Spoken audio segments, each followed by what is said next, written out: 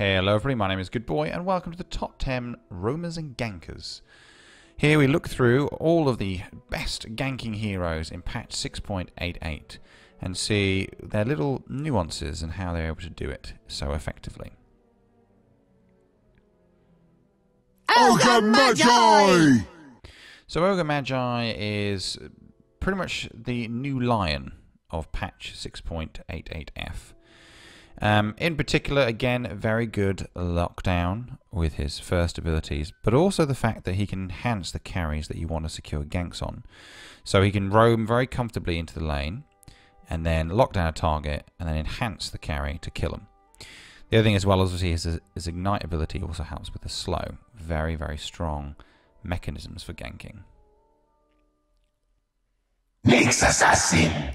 Now, Nyx Assassin has always been a premier ganker, but again, in this patch, pretty fantastic, especially with his uh, ultimate ability, Vendetta.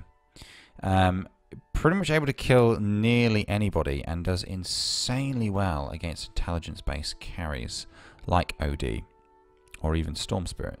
Turns up, locks you down, burns all your mana, and then nukes you, usually with a Dagon. Very, very strong ganker. Night Stalker. Night Stalker's been somewhat underrated in this patch and maybe isn't played that well. Obviously, the big thing being about him is he comes online after about four minutes when you get the nighttime effect. Very, very strong hero in terms of um, single target ganking, um, especially with his slow and silence abilities. Uh, but like I say, it tends to be a flavour of the meta. So depending on which patch we're in, it'll either be in season or out but um, but very very strong and always formidable. Enchantress. So Enchantress doesn't enjoy a particularly favourable uh, pick weight or win rate in this particular patch, but that being said, still maintains a very very strong presence, particularly with the fact that she has uh, neutral creeps that she can bring under her control, and then use in all kinds of wonderful ways to gank people with. Naturally, of course, with the uh, impetus enhancements from Dragonlance, uh, she's definitely formidable. Pudge.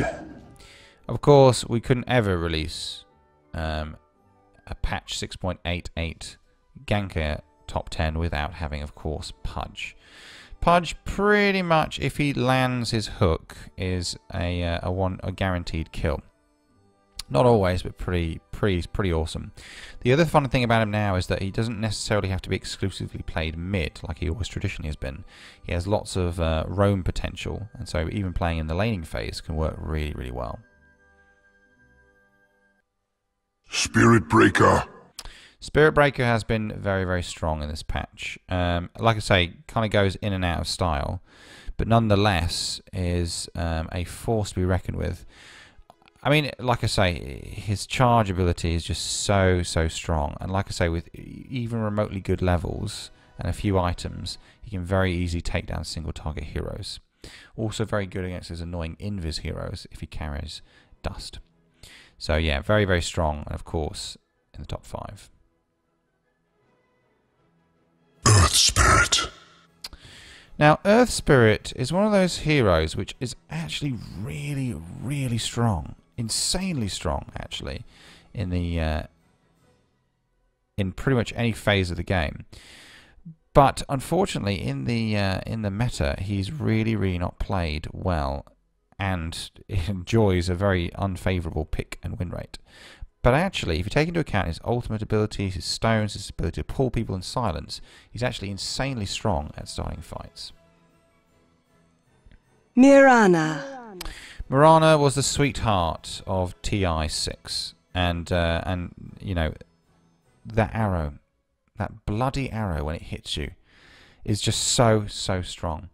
So naturally, of course, with Starfall, with her escape mechanisms, with her ultimate ability, so not only does she gank very very well solo, but she can take an entire team with her.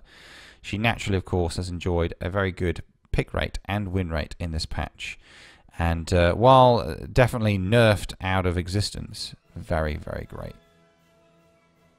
Bounty Hunter. So invisibility is back in, and bounty hunter is no exception. Naturally, of course, the skill level of the player that uses it well needs to be very high, but bounty with his invisibility does very, very well at ganking people, and not to mention all that bonus gold from his ultimate. So definitely a force we look for, and like I say, with reasonable levels of farm, and of course working in the early game, bounty hunter enjoys exceptionally good gank potential. Riki. Of course, it had to be Riki. Riki has always traditionally been played as a carry, but now enjoys a more of a utility roaming ganking type role by getting farm from jumping on people as opposed to just hard farming.